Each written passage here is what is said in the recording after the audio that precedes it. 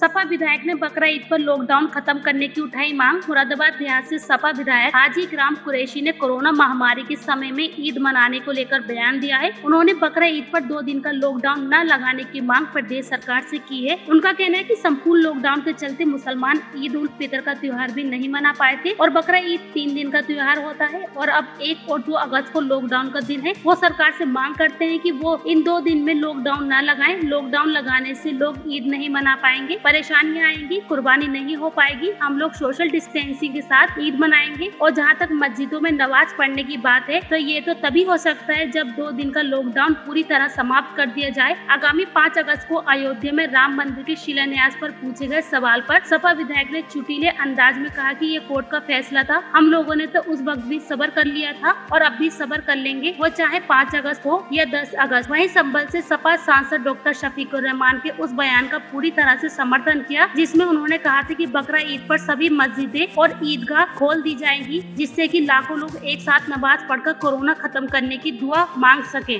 देखिए, मुसलमानों के दो बड़े त्योहार होते हैं। एक ईद उल फित्र और एक ईद उल अजहा ईद उल फित्र हमारी संपूर्ण लॉकडाउन में गुजर गई। हमें पता नहीं चला कि किधर ईद आई और कहाँ चली गई। ईद उल अजहा पर तीन दिन का त्यौहार होता है। हम सरकार से मांग करते हैं ईद उल अजहा पर पहली अगस्त और दो अगस्त को लॉकडाउन नहीं लगना चाहिए। लॉकडाउन लगने से लोगों को परेशानियाँ आएँगी, ईद नहीं मना पाएँगे। सोशल डिस्टेंस के साथ हमें ईद मनानी है, कुर्बानी करनी है। मैं मांग करता हूँ आपके इस चैनल के माध्यम से। कि ईद उल अजहा पर दो दिन का लॉकडाउन समाप्त होना चाहिए। सर मस्जिद और ईदगाह पर जो पाबंदी नमाज़ के लिए लगी है उसमें आपका क्या क्या कहना है? देखिए बीमारी को देखते हुए महामारी को देखते हुए बिल्कुल हम घरों में नमाज़ अदा कर सकते हैं।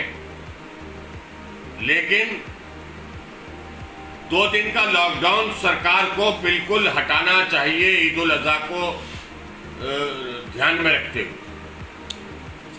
सर, पाँच अगस्त को अयोध्या में जो है राम मंदिर का शिलान्यास होने जा रहा है, इसमें आपका क्या कहना है? देखिए तो कोर्ट का फैसला है। जब सुप्रीम कोर्ट ने फैसला दिया, उस वक्त भी हमने सब्र किया। और अब ये पाँच अगस्त को जाए या दस अगस्त को जाए, हम तो सब्र ही कर सकते हैं।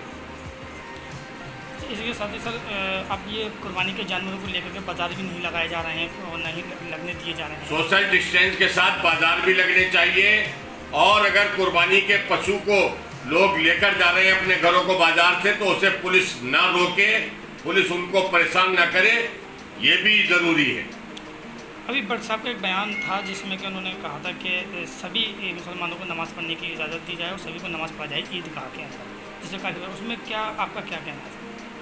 देखिए इस महामारी को देखते हुए सोशल डिस्टेंस ज़रूरी है। सामूहिक कोई काम नहीं होना चाहिए। मस्जिद और ईदगाह खोलने की मांग की थी बट सामने। मस्जिद तो, तो खुली भी है पाँच आदमी नमाज़ अदा कर रहे हैं। सामूहिक मतलब पूरे इज्तमाही तौर पे नमाज़ सफ़ के साथ अदा करने की मांग की थी और काफ़ी इसको लेकर के ट्वीट्स वगैरह चली थी। इसमें क्या आप उनके बयान का समर्थन करते हैं या आपका क्या कहना नहीं मैं बर्ग साहब के बयान का समर्थन करता हूँ। बर्ग साहब ने जो मांग की है उन्होंने साथ ही साथ ये भी तो कहा है कि हम ईद की नमाज़ पढ़ने के बाद कोरोना जैसी महामारी के खात्मे के लिए दुआ करेंगे। हो सकता है ईद की नमाज़ हम लोग सामूहिक पढ़ें और उसमें दुआ करें और कोरोना का खात्मा हो जाए।